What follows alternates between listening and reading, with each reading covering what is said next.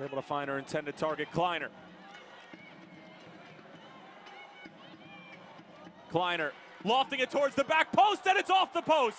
Back out for Rapinoe. Her shot takes a deflection, and Chapman with a cool head finding Simon. Now Houston on the encounter. Catlana showing great pace. Long for Veronica Latsko. Latsko going for goal. It takes a deflection and it's in. Veronica Latsko in the 93rd minute.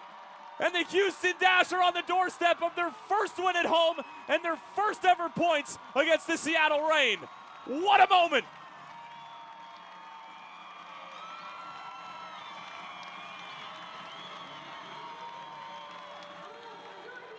Houston showing what they do in transition. Catlana getting this ball on the end, penetrating, bringing Latsko into the attack.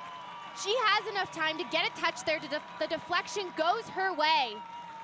Houston went from almost getting scored on, the ball hitting the post, to going a full 120 towards the other end and finishing with Latsko getting that goal.